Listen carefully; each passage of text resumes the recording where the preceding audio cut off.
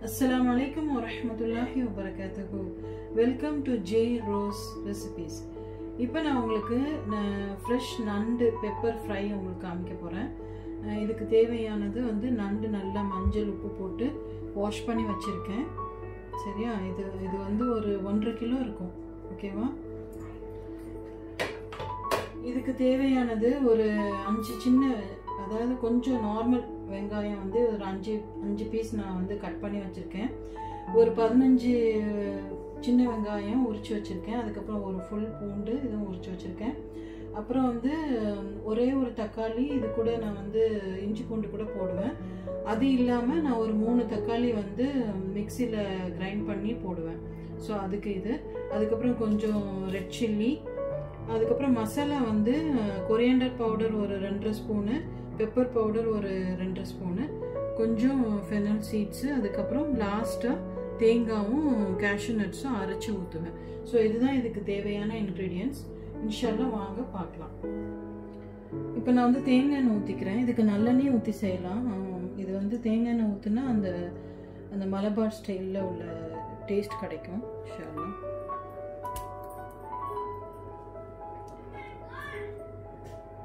First நான் பூண்டும் கருவேப்பிலையும் போட்டுக்கிறேன்.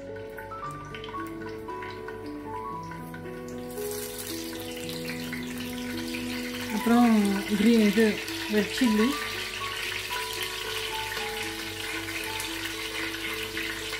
காஞ்ச மிளகா அப்புறம் வந்து கருவேப்பிலை. இது மூணும் போட்டுக்கிறேன். இது கூட இப்போ ஃபெனல் சீஸ் போட்டுக்கிறேன்.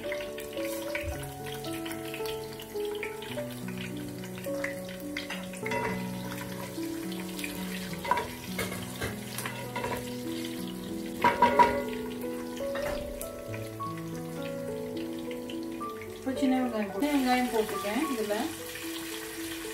ஸோ இதை கொஞ்சம் நல்லா வதக்கிக்கலாம்.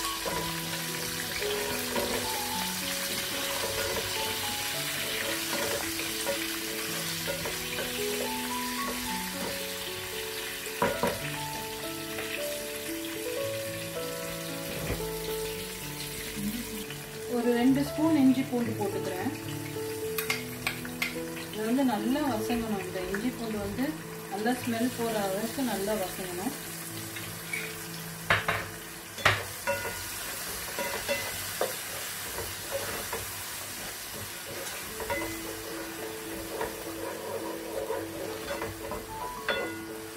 இப்போ வந்து நல்லா இஞ்சி பூண்டு வந்து நல்லா வசங்கிருச்சு இப்போ வந்து நான் வந்து ஒரு நாலு வெங்காயம் கட் பண்ணி வச்சுருக்கேன்.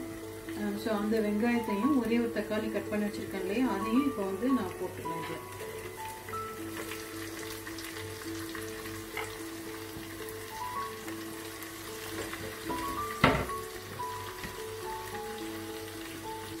கொஞ்சம் கல் உப்பு போட்டுடுறேன் போட்டுட்டு இது கூட வந்து நான் சில்லி பவுடர் சொல்லி சொல்லியிருந்தேன் இல்லையா? அந்த சில்லி பவுடர் வந்து அதையும் இது கூட போட்டுருவேன். ப்ளஸ் வந்து இந்த பெப்பர் பவுடரையும் போட்டுருவேன்.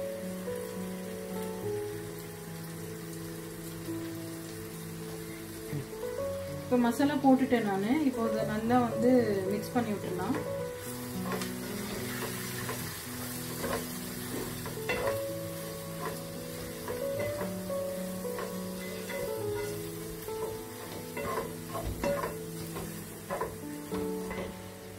இது நல்லா ஒரு டென் மினிட்ஸ் இது நல்லா வசங்கட்டும். நம்ம அதுக்கப்புறமா வந்து மூணு தக்காளி நான் சொல்லியிருந்தேன் இல்லையா? அதை வந்து கிரைண்ட் பண்ணி வச்சுட்டு அதை ஆட் பண்ணணும். அதை ஆட் பண்ணதுக்கப்புறமா நம்ம வந்து நண்டை ஆட் பண்ணிடலாம் சரியா? இப்போ இதை ஓப்பன் பண்ணுறேன் இது வந்து கொஞ்சம் நல்லா வசங்கிருச்சு. அந்ததெல்லாம் இப்போ வந்து நம்ம வந்து இந்த தக்காளி வந்து இது பண்ணி வச்சுருக்கோம் இல்லையா? அடிச்சு வச்சுருக்கோம்ல. ஸோ அதை வந்து ஆட் பண்ணிக்கிறேன்.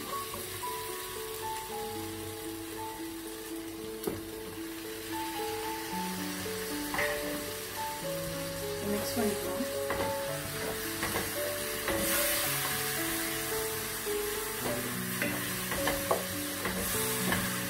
தெரியுது.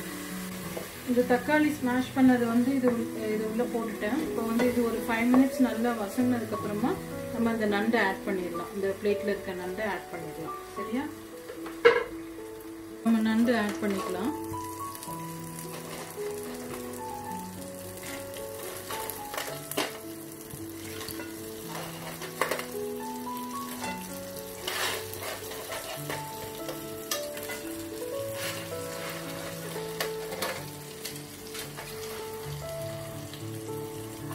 கொஞ்சம் மிக்ஸ் பண்ணிக்கிறோம் இதை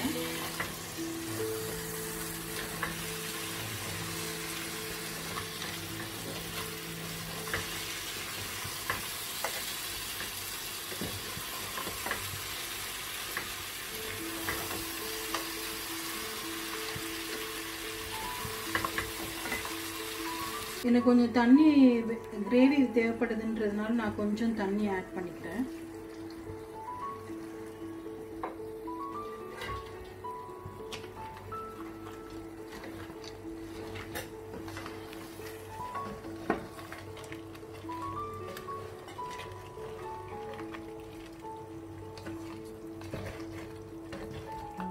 வந்து நம்ம வந்து கடைசியாக தேங்காவும் கேஷ்யூ நட்ஸும் அரைச்சி வச்சதை நம்ம வந்து ஆட் பண்ணிட வேண்டியதான் இப்போ நம்ம தன் தேவையான அளவு தண்ணி ஆட் பண்ணிக்கிட்டோம். இது கொஞ்ச நேரம் நல்லா வேகட்டும்.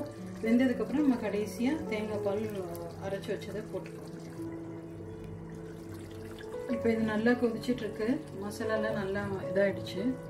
வந்துருச்சு. இப்போ வந்து நம்ம வந்து தேங்காவும் கேஷ்யூ நட்ஸும் அரைச்சி வச்சுருக்கோம் இல்லையா? ஸோ இதை வந்து போடுறோம் இது போடுறதுனால நமக்கு நல்ல கிரேவி கிடைக்கும்.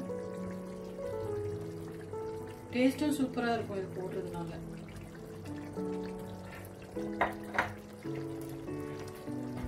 இப்போ இதை மிக்ஸ் பண்ணிடுறேன்.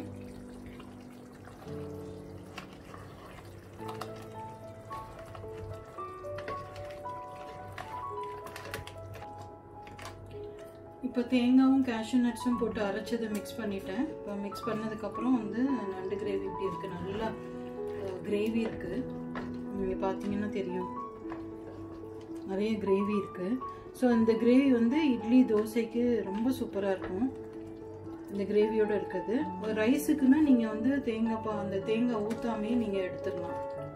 ரைஸ்க்கு கொஞ்சம் ட்ரையாக இருக்கணும் அப்படின்னா நீங்கள் தேங்காய் பால் ஊற்றுறதுக்கு முன்னாடி நம்ம வந்து ஆஃப் பண்ணிடலாம்.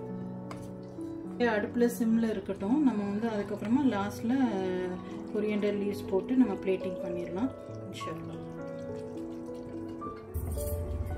இப்போ இதை ஓப்பன் பண்ணிடலாம். ஸோ நம்மளோட நண்டு கிரேவி ரெடி ஆயிடுச்சு. ஸோ இதில் முக்கியமான ரெண்டு டிப்பு என்ன அப்படின்னா இது நமக்கு கொஞ்சம் நல்லா கிரேவி வேணும் அப்படின்னா நம்ம வந்து தக்காளி வந்து ஆட் பண்ணோம் இல்லையா? தக்காளி வந்து நம்ம அரைச்சி ஆட் பண்ணோம் இல்லையா? ஸோ அதில் தான் நமக்கு வந்து இவ்வளோ கிரேவி கிடச்சிருக்கு. அதுவும் ப்ளஸ் வந்து தேங்காவும் கேஷ்யூ நட்ஸும் போட்டோம்ல.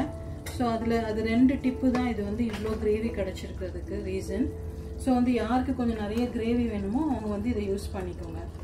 தக்காளி அப்புறம் வந்து தேங்காய் கேஷ்யூ நட்ஸ்லாம் கொஞ்சம் அரைச்சி போட்டோம்னா நமக்கு நல்ல கிரேவி கிடைக்கும். சரியா? ஸோ இப்போ இது நல்லா வெந்து நல்லா கரெக்டான பக்குவத்தில் வந்துருச்சு. ஸோ நம்ம இப்போ வந்து பிளேட்டிங் பண்ணிக்கலாம்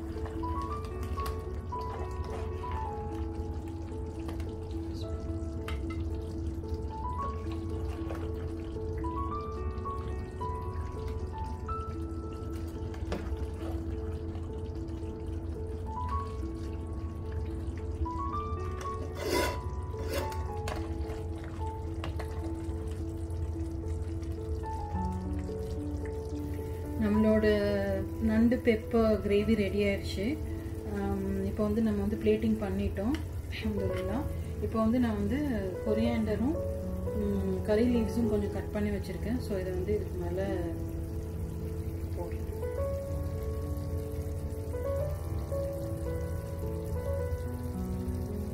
இது இது வந்து பரோட்டாக்கு இட்லிக்கு தோசைக்கு எல்லாத்துக்குமே சூப்பராக மேட்ச் ஆகும்.